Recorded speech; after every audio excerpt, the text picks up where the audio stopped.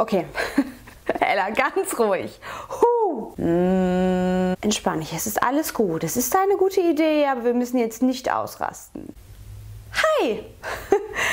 Ich beginne dieses Video sehr seltsam, weil ich sehr, sehr, sehr, sehr glücklich darüber bin, was ich euch gleich zeigen kann. Das ist vielleicht auch der Grund, warum ich in diesem Video unfassbar schnell sprechen werde. Ich gebe mir große Mühe, sehr langsam zu sprechen. Okay, etwas Positives und etwas Negatives. Das Positive ist, ich liebe Karten und Briefe. Ich kriege so gerne Karten und Briefe und meine Freunde wissen das und meine Familie weiß das. Deswegen schreiben sie mir gerade zum Geburtstag und zu Weihnachten und zu Ostern und generell zwischendurch auch mal eine Karte, was mich unheimlich glücklich macht.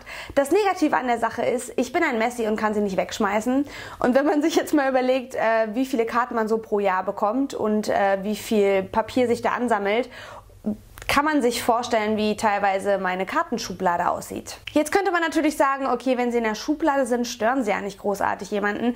Aber mich stört an der Sache, dass ich sie gar nicht angucke. Ich behalte sie zwar, aber ich gucke sie mir nie wieder an. Sie kommen in die Schublade und irgendwann wühle ich das mal durch und denke, ach Mensch, krass, die hatte ich ja auch noch und die noch. Aber ich habe nicht so richtig einen schönen Weg gefunden, um sie aufzubewahren und trotzdem angucken zu können. Bis gestern. Ich habe gebastelt. Mir ist eine ganz schöne Sache eingefallen, wie ich meine Karten besser präsentiere dokumentieren und aufbewahren kann und sie trotzdem regelmäßig angucke. Und ich dachte mir, vielleicht hat der eine oder andere von euch noch so einen Stapel Weihnachtskarten, die er irgendwie nicht wegschmeißen kann. Und ich habe vielleicht einen guten Tipp oder eine kleine Inspiration für euch, was ihr damit anstellen könnt. Das sind alle meine Karten von diesem Jahr. So viel Glückspapier! Und das ist ein alter Inselbuchumschlag, den ich vom Flohmarkt habe und den ich sehr schön finde. Ich fange mal mit den Karten an. Dafür stelle ich meinen Locher auf eine Höhe ein und fange an, Trommelwirbel, die Karten zu lochen. Surprise, surprise. Das Einzige, was man beachten muss, ist, dass man Klappkarten immer an der geschlossenen Seite locht. Das mag einigen vielleicht sonnenklar gewesen sein, mir zuerst nicht. Äh. Wenn man nicht so viele Karten hat, kann man sie einfach in den leeren Buchumschlag kleben. Das geht bei mir hier offensichtlich nicht. Deshalb trenne ich den Buchrücken einfach mal von den Covern. Um die Schnittstellen so ein bisschen schöner aussehen zu lassen, beklebe ich sie einfach mal mit Washi Tape.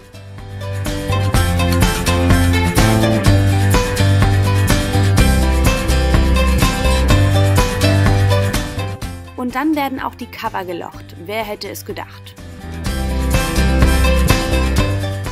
Alles miteinander zu verbinden, habt ihr verschiedene Möglichkeiten. Ihr könnt zum Beispiel einen Aktendulli nehmen, dann könnt ihr zwar nicht umblättern, aber immer wieder neue Karten dazu tun. Ihr könnt aber auch ein schönes Band benutzen oder wie ich hier alte schwarze Haargummis.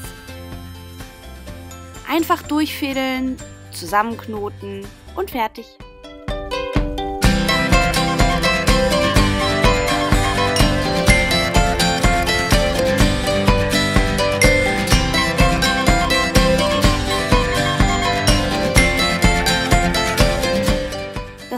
Alles wunderbar zusammen und man kann entspannt umblättern.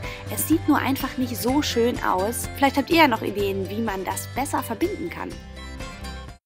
Und so sieht mein Kartenbuch am Ende aus. Ich gebe zu, es könnte deutlich schöner sein. Ich war einfach so aufgeregt und musste das jetzt ungeduldigerweise schnell irgendwie fertig machen. Ich bin mir ganz, ganz sicher, ihr werdet kreativere Ideen haben, wie man das Ganze gestalten kann. Man kann natürlich noch einen schöneren Buchrücken machen, man kann es anders bekleben. Ich finde das so eine schöne Möglichkeit, seine Karten aufzubewahren, weil ich genau weiß, wenn das im Bücherregal steht, greife ich doch ab und zu mal danach und blätter mal durch und guck mal, wer mir alles Karten geschickt hat und lese mir nochmal durch, was da für liebe Sachen drin stehen. Das ist gerade, glaube ich, nett für so einen Tag, wenn man denkt, keiner mag einen oder so. Ja, so eine Tage habe ich auch. Ich glaube, die hat jeder von uns mal. Wenn ihr Lust habt, macht das Ganze doch nach. Und wenn ihr Lust habt, schickt es mir doch wieder auf Instagram oder per Mail oder so. Ihr findet ja eure Wege, mir das zu schicken.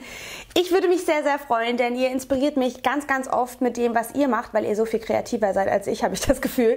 Ich gebe zwar den Anstoß hier mit, aber ich weiß ganz genau, dass mein nächstes Kartenbuch garantiert cooler aussieht, weil ich mich bei euch so ein bisschen inspirieren lassen kann. Wenn ihr generell Projekte mögt, die in irgendeiner Form mit Büchern zu tun haben, dann verlinke ich euch hier mal mein Video, indem ich euch zeige, wie man selbst ein Buch binden kann. Und wenn ihr auf eurer Vorsatzliste bis jetzt nur stehen habt, eure Karten zu organisieren, dann verlinke ich euch hier mal mein Video, in dem ich euch erzähle, was meine Vorsätze sind. Vielleicht könnt ihr euch da auch noch mal so ein bisschen inspirieren lassen. Ich hoffe, das Video hat euch gefallen. Ich hoffe, ihr probiert es aus. Und ansonsten wünsche ich euch noch einen wunderschönen Tag.